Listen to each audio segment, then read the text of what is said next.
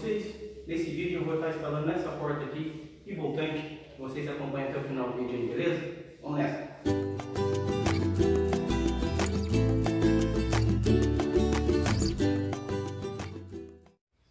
Olha pessoal, eu gostaria muito de mostrar para vocês como eu instalei essa porta pivotante. Só que eu peço muitas desculpas para vocês porque o que aconteceu?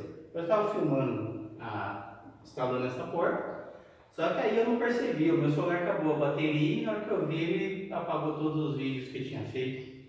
Mas eu vou mostrar para vocês como ficou. Se ajudar, eu vou dar as medidas, as dicas certinho aqui. Se puder ajudar, eu peço desculpa novamente porque não foi de propósito, eu queria muito mostrar instalando essa porta, mas infelizmente meu celular me sabotou, me trollou, mas eu vou mostrar para vocês como ficou. Eu vou aproximar a câmera aqui e vou mostrar para vocês como ficou essa porta. É isso aí. Bom, aqui pessoal, aqui vai o, a parte de baixo do pivotante, né? Ela é parafusado na pedra e na porta. Chega bem pertinho aqui para ver Aqui, essa distância aqui, eu deixei 10 centímetros do batente, tá? E aqui em cima aqui, a mesma coisa. Esse filetinho de madeira que tem aqui, é onde a porta encosta ao fechar. Certo? Aqui eu instalei esse trinco, é bem simples, você coloca ele aqui, marca ele, faça primeiro o rebaixo dele, depois você fura com a broca para chegar ao limite dele aqui está mesma coisa aqui a fechadura essa fechadura tem esse sistema aqui que é só encostar ela fecha sozinha né? Não tem maçaneta. E aqui embaixo aqui é a mesma coisa o outro trinco.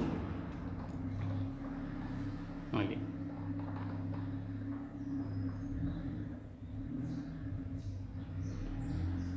Aqui eu coloquei um outro sarrafinho de madeira também, que é para finalizar. Aqui também é muito fácil, vocês marcam a lingueta da porta e façam um rebaixo, depois fure com a broca, até dar o limite. Todas as três.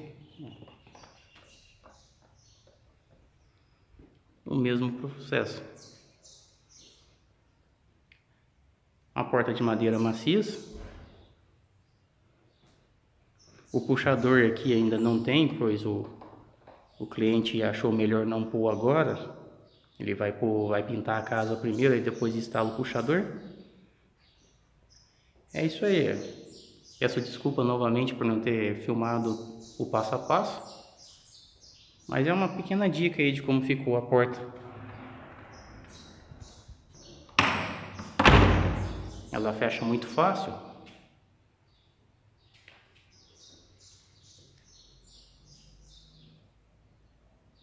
uma porta grande. Essa porta mede 1,10m de largura por 2,10m de altura. Certo?